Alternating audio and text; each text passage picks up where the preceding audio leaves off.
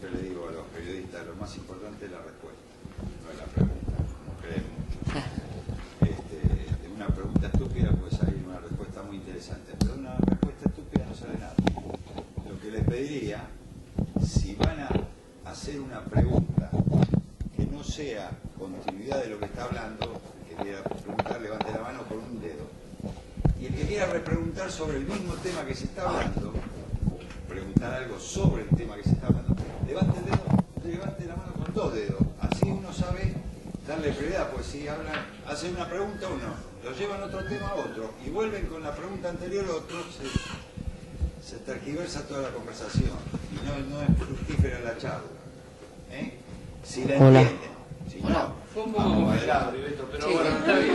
Eh, traten de, sí, de, de- eh, pues, él el profesor de reglamento.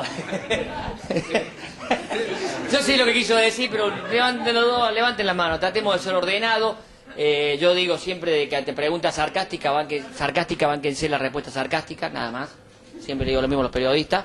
Eh, pero bueno, mm, me voy a presentar, soy Héctor Walter Baldassi, tengo, a pesar de que no lo aparento, 45 años. Eh, eh, parezco más así. Eh, pero bueno, esto hace que soy árbitro del año 1990, me recibí de árbitro. Eh, aunque, aunque- aunque ustedes no lo crean, yo le hice de asistente al señor Oliveto, en ese momento se llamaba Línea. Era el, fui en línea solferino de un partido.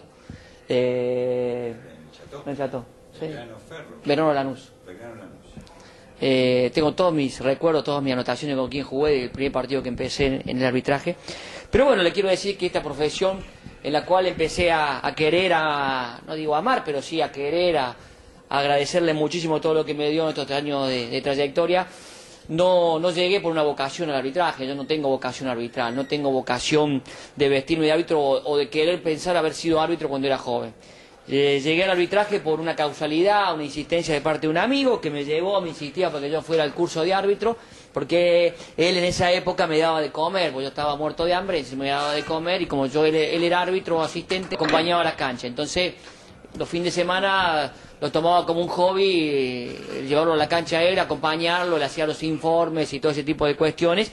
Y entonces fue picándome un poquito el bichito de lo que era el arbitraje y su insistencia para que yo me metieron en el curso de árbitro, logró que me notara por el año, por el año 89.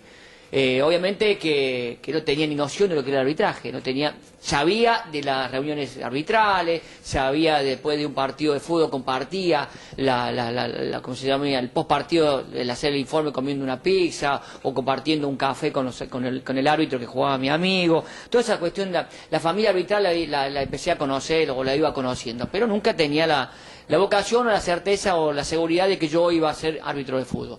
Pero bueno, me, me tanto un día para que me notaran el curso y adelante mío llamó al que en ese momento Claudio Busca, eh, Claudio Busca que era el subdirector de, la escuela en ese momento y, adelante mío me obligó a que yo al otro día fuera una entrevista con Claudio Busca.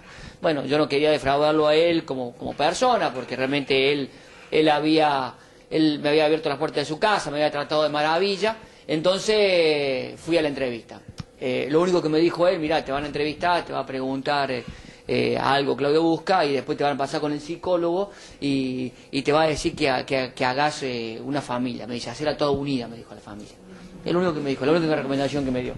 Entonces yo fui ese día, al día siguiente, al, a la del fútbol argentino, al primer piso, y, que estaba en la sala de espera, y, y en eso bajó, eh, a ver si me cuento esta anécdota, bajó Abel Ñeco, que en ese momento era árbitro, y siempre muy borrágico, Abel Ñeco, gritaba cuando hablaba así, me dijo, buenas tardes, buenas tardes, usted, usted, acá que viene, Eh, digo, no, yo vengo a ver si me puedo anotar en el curso de árbitro, y lo primero que me dijo usted, me dice, ¿usted sabe cuántas reglas son el fútbol?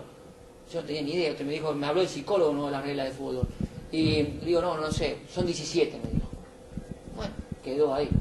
Al ratito salió Claudio Busca y me nombró, me hizo pasar en un lugar, una, una, cosita muy chiquita, atendía, dos, dos sillas, una mesa de por medio, y me dijo, bueno, ¿cómo se llama usted? Ta, ta, vengo de Córdoba, soy de Cordobés, nacido, y me dice, ¿usted sabe cuántas reglas son en el fútbol? Sí, 17.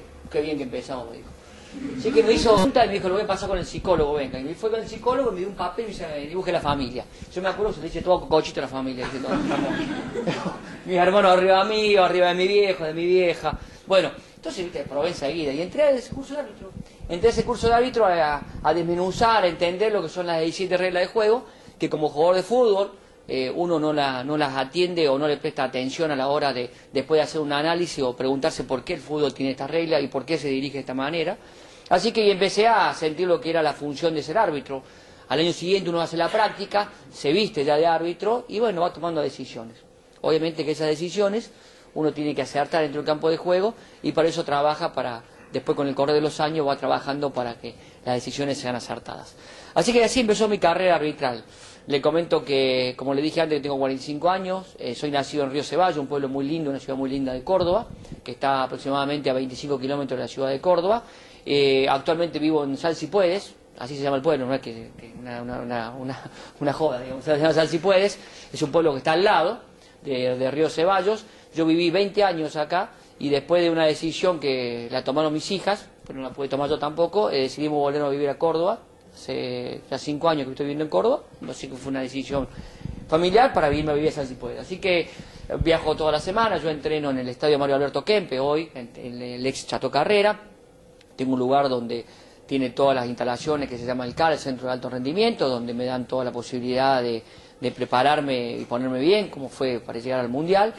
Así que nada, vamos en esta carrera que que muchos sabrán, porque a lo mejor lo habrán leído, que ya está llegando a su fin, está culminando, si Dios quiere, no tengo ni día ni fecha, pero seguramente no va a ser más que este año que, le ponga fin a mi carrera, que me dio la posibilidad de ser alguien en la vida, de conocer el mundo, de vivir de la pelota, de, muchísimas satisfacciones. Obviamente que en esta profesión también tenés ingratitudes, que eh, la persona que toma decisiones, la persona que, que realmente eh, está dentro de un campo de juego y muchas veces se equivoca porque la decisión no es acertada, eso es ingrato. Aparte, ¿quién no se acordó de mi vieja?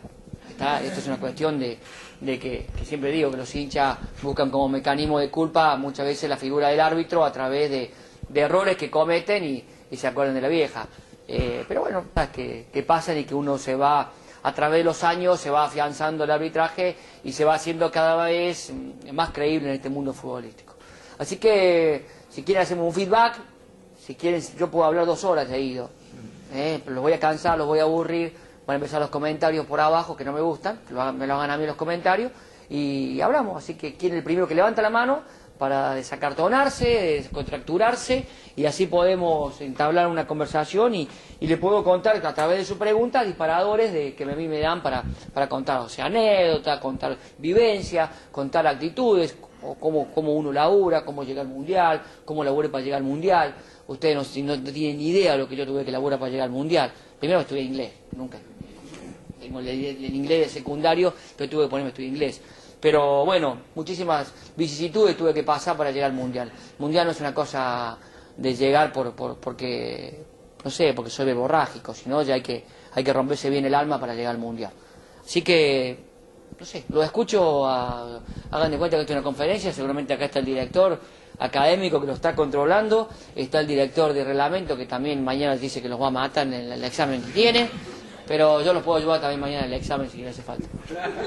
Yo fui, yo fui, eh, cuando vivía acá en Buenos Aires, le cuento a esta chiquita, yo era eh, profesor de reglamento de crónica. Crónica fue un, un, instituto de periodismo que realmente como se organiza los institutos de periodismo y me contactaron a mí si yo podía el reglamento. Yo sí, voy, no tengo problema, pero yo no voy, le pongo a otra persona para que vea el reglamento, yo voy cuando tengo posibilidad, si no viajo. Bueno, sí, pero queremos que vos nos el apellido. Sí, el apellido se lo doy porque era gente conocida, gente realmente que, que quería esto y que le iba a poner buena onda. Y bueno, cuando tomaba los exámenes, lo corregía yo a los chicos, se iba haciendo, no, está mal, pon esto. Y el profesor que era dar mucho me mataba. Pero bueno, ya está, es decir, eh, creo que es fundamental en el periodismo aprender el reglamento.